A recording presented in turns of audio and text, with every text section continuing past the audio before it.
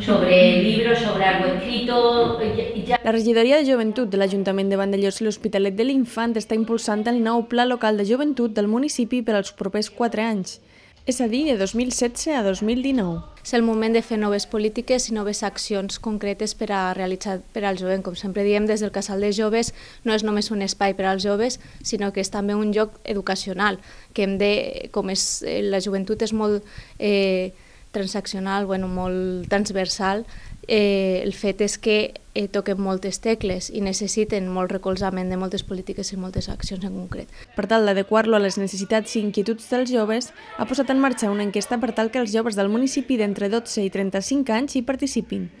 Es tracta d'enquestes distribuïdes en tres segments de població que van dels 12 als 18 anys, dels 19 als 25 i dels 26 als 35.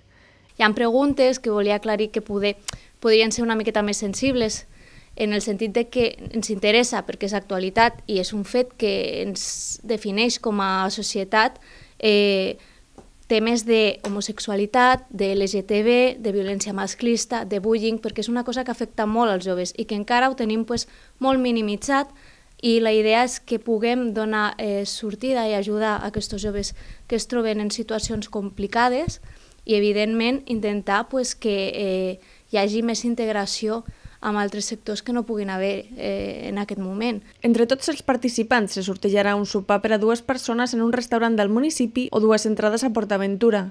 A l'enquesta es pot accedir-hi a través del bloc de joventut o escanejant el codi QR que es troba als cartells. No, no es exagerado, ¿eh?